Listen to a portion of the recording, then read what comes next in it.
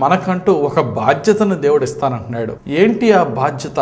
యశా గ్రంథము నలభై మూడవ అధ్యాయము ఇరవై ఒకటో వచనం. నా నిమిత్తము నేను నిర్మించిన జనులు నా స్తోత్రమును ప్రచురము చేయుదురు. దేవుడు ఆయన కొరకు ఎవరినైతే ఏర్పరచుకున్నాడో ఆయన బిడలముగా ఉన్న మనందరికీ కూడా దేవుడిచ్చిన బాధ్యత ఏంటంటే టు ప్రేజ్ హిమ్ ఆయన స్తోత్రించుట. కాబట్టి నేను అంటాను praising God is not only our delight but also it is our duty స్థుతించి ఆయన నామమును స్తోత్రించడం అనేది సంతోషముతో ఆనందంతో మనం చేయడం మాత్రమే కాదు. మనం తెలుసుకోవాల్సిన సత్యం ఏంటంటే అది మన బాధ్యత. మనలను పుట్టించి మనలను ఏర్పరచుకొని సమస్త అవసరతలను తీరుస్తూ ఆయన కృపలో మనల్ని సంరక్షిస్తున్న మన దేవునికి సంతోషముతోనూ దేవునికి స్థుతులు చెల్లించాలి కృతజ్ఞతతోనూ. అంతేకాదు ఒక బాధ్యత నేను దాని కొరకే నేను నేను ఏర్పరచుకున్నాను అని దేవుడు చెప్తున్నాడు. ఆ నూట యాభై కీర్తన మనం చూస్తే నూట యాభై కీర్తనలో ఆరు వచనాలు ఉన్నాయి. ఈ ఆరు వచనాలు కూడా మూడు క్వశ్చన్స్ ఆన్సర్ ఇస్తున్నాయి. Where to praise why to praise how to praise ఎక్కడ స్థుతించాలి? ఎందుకు స్థుతించాలి? ఎలా స్థుతించాలి మొదటి ప్రశ్న ఏంటి? వేర్ టు ప్రేస్ ఎక్కడ స్థుతించాలి అందులో నూట యాభై కీర్తనలో మొదటి వచనంలో ఆయన ఆలయములోను ఆకాశ విశాలమందు.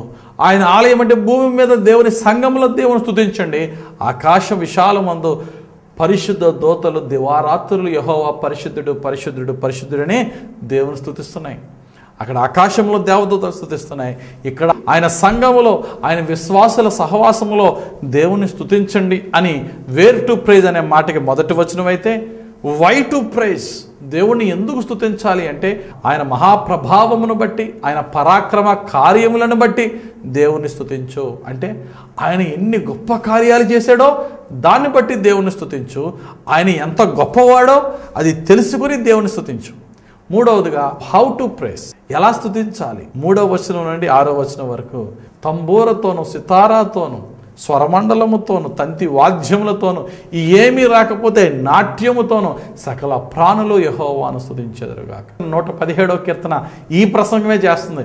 ఎందుకు స్థుతించాలంటే ఆయన నీ పట్ల చేసిన కార్యములను బట్టి ఆయన కృపను బట్టి నేను అనుకుంటాను దేవుడు నా మీద చూపినంత కృప ఈ భూమి మీద ఎవరి మీద కూడా చూపించట్లేదు అని నేను ఫీల్ అవుతాను. అలాగే ప్రతి విశ్వాసం అలాగే ఫీల్ అవుతాడు. ఆయన యొక్క కృపను బట్టి మనం ఆయన స్థుతిద్దాం రెండవదిగా ఆయన విశ్వాస్యత నిరంతరము నిలిచిన అంటాడు నూట పదిహేడవ కీర్తనలో. ఎందుకంటే ఆయన నిన్న కృప చూపించి ఈరోజు చూపించిన వాడు కాదు. నిన్న నేడు రేపు కూడా ఒకేలాంటి కృప ఒకేలాంటి దేవుడు.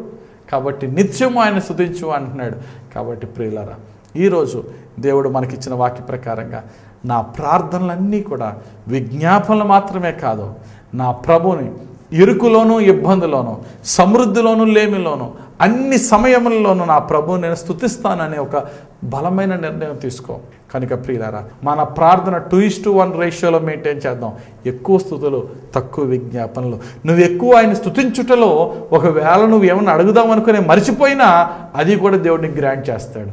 Let us praise God from the bottom of a hearts హృదయంతరంగంతో దేవుని స్థుతిద్దాం ఆరాధిస్తాం. మన ఊహకు మించిన ఆశీర్వాదాలతో దేవుడు మనల్ని తృప్తిపరుస్తాడు.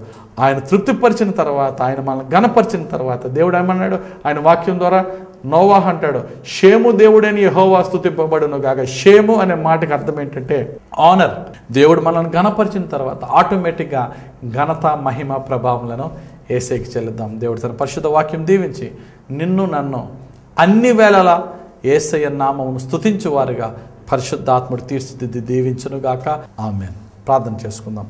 మహిమ గల మా తండ్రి నీకు స్తోత్రాలు.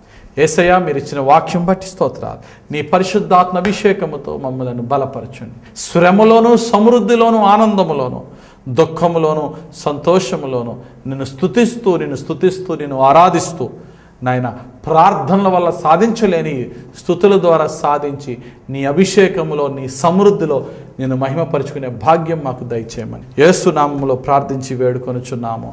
మా పరమ తండ్రి. ఆమెన్. God bless you.